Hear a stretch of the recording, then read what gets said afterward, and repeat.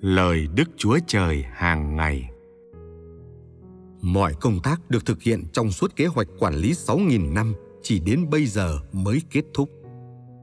Chỉ sau khi tất cả các công tác này đã được tiết lộ cho con người và được thực hiện giữa loài người thì nhân loại mới biết toàn bộ tâm tính của Đức Chúa Trời và biết Ngài có gì và là gì.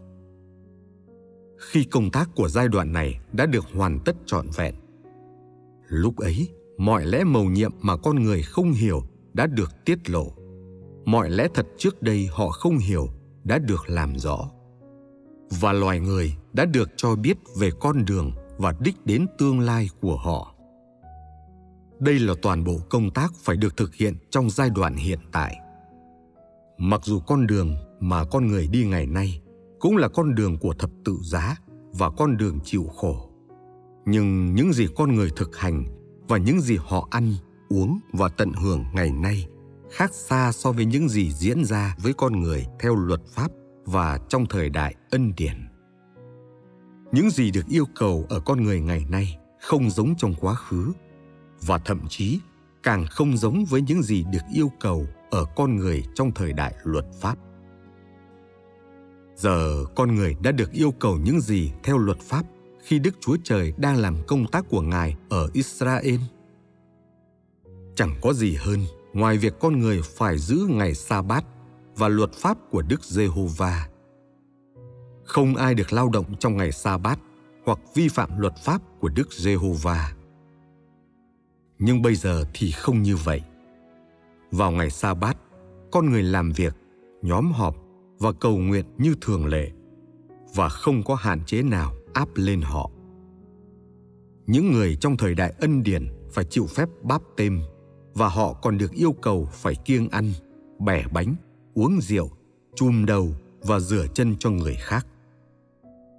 Giờ đây, những quy tắc này đã bị bãi bỏ, nhưng những đòi hỏi lớn hơn được đặt ra cho con người. Vì công tác của đức chúa trời không ngừng đào sâu và sự bước vào của con người ngày càng lên cao hơn trong quá khứ giêsu đã đặt tay lên con người và cầu nguyện. Nhưng giờ đây, khi mọi thứ đều đã được phán ra, thì việc đặt tay có tác dụng gì? Chỉ riêng những lời thôi cũng có thể đạt được kết quả. Khi ngài đặt tay lên con người trong quá khứ, đó là để ban phước cho con người và cũng là để chữa lành những bệnh tật của họ. Đây là cách đức thánh linh đã làm việc vào thời đó nhưng bây giờ thì không như vậy. Giờ đây, đức thánh linh dùng lời để làm việc và đạt được kết quả. Lời ngài đã được làm rõ cho các ngươi, và các ngươi nên đưa chúng vào thực hành đúng như được yêu cầu. Lời của ngài là ý muốn của ngài. Chúng là công tác ngài muốn làm. Qua lời của ngài, ngươi sẽ hiểu được ý muốn của ngài và những gì ngài yêu cầu ngươi phải đạt được và ngươi có thể chỉ cần trực tiếp đưa lời ngài vào thực hành mà không cần đến việc đặt tay.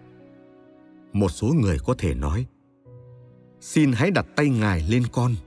Xin hãy đặt tay ngài lên con để con có thể nhận được phước lành của ngài và để con có thể dự phần cùng ngài. Tất cả những điều này đều là những thực hành cổ lỗ từ quá khứ. Giờ đã lỗi thời, vì thời đại đã thay đổi đức thánh linh làm việc theo thời đại, không phải ngẫu nhiên, cũng không theo quy luật cố định. Thời đại đã thay đổi, và một thời đại mới nhất thiết phải mang theo công tác mới. Điều này đúng với mọi giai đoạn công tác. Và vì vậy, công tác của ngài không bao giờ lặp lại. Trong thời đại ân điển giêsu đã thực hiện một lượng tương đối các công tác dạng đó. Chẳng hạn như chữa bệnh, đuổi quỷ đặt tay lên con người để cầu nguyện cho họ và ban phước cho con người. Tuy nhiên, làm như vậy một lần nữa sẽ là vô nghĩa trong thời đại ngày nay. Đức thánh linh đã làm việc theo cách đó vào thời điểm đó, vì đó là thời đại ân điển và có đủ ân điển để con người tận hưởng. Họ đã không bị đòi hỏi phải trả bất kỳ cái giá nào và miễn là họ có đức tin thì họ sẽ nhận được ân điển. Tất cả đều đã được vô cùng ân đãi. Giờ đây thời đại đã thay đổi và công tác của đức chúa trời đã tiến xa hơn. Chính thông qua sự hành phạt và phán xét mà sự phản nghịch của con người cùng những điều ô uế bên trong con người sẽ bị gột sạch. Giai đoạn đó là giai đoạn cứu chuộc đức chúa trời đã cần phải làm việc theo cách đó. Tỏ bày đủ ân điển để con người tận hưởng. Hầu cho con người có thể được cứu chuộc khỏi tội lỗi và nhờ ân điển mà được tha tội. Giai đoạn hiện tại này là để vạch trần sự bất chính trong con người bằng sự hành phạt, phán xét, sự đánh đòn của lời, cũng như sự sửa dạy và mặc khải của lời. Hầu cho sau đó nhân loại có thể được cứu rỗi. Đây là công tác sâu hơn việc cứu chuộc. Ân điển trong thời đại ân điển đã đủ cho con người tận hưởng. Giờ đây, con người đã trải nghiệm ân điển này rồi, nên họ không còn được hưởng nó nữa. Công tác này giờ đã lỗi thời và không còn được thực hiện nữa. Ngày nay, con người sẽ được cứu rỗi thông qua sự phán xét của lời sau khi con người bị phán xét, hành phạt và tinh luyện, tâm tính của họ nhờ đó được thay đổi. Chẳng phải tất cả điều này đều là nhờ những lời ta đã phán sao? Mỗi giai đoạn công tác đều được thực hiện phù hợp với sự tiến bộ của toàn nhân loại và với thời đại. Mọi công tác đều ý nghĩa và tất cả đều được thực hiện vì sự cứu rỗi sau cùng để nhân loại có thể có một đích đến tốt đẹp trong tương lai. Và để cuối cùng, loài người có thể được phân chia theo loại.